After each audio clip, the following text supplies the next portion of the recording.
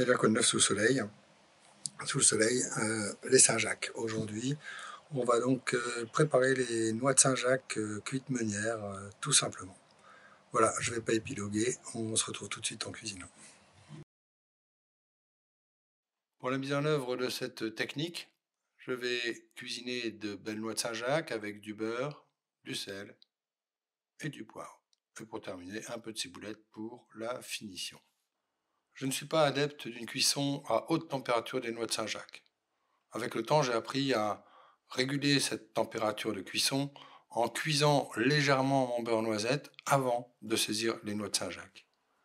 Ainsi, j'ai remarqué qu'elle ne rétractait pas, qu'elle ne perdait pas d'eau, et surtout qu'elle ne devenait pas caoutchouteuse ou surcuite, ou à l'inverse, crue à l'intérieur et trop colorée à l'extérieur.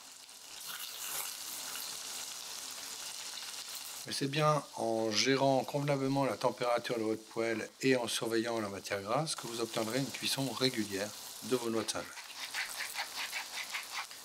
À peine posé dans la poêle et dans le beurre noisette, je commence à arroser les Saint-Jacques avec le beurre noisette.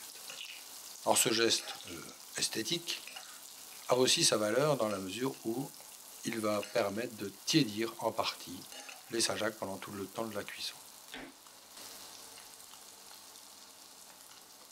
Je vérifie la coloration de surface.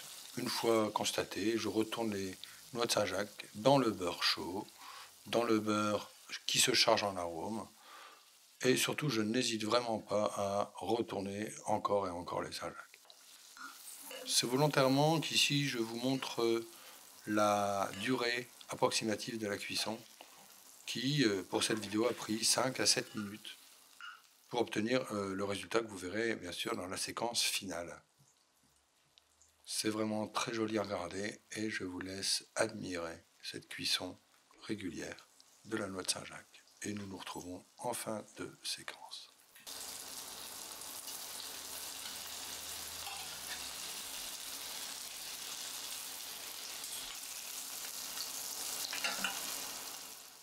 Après un dernier arrosage, les Saint-Jacques sont prêts à être dégustés. À votre tour désormais de tenter cette expérience de cuisson.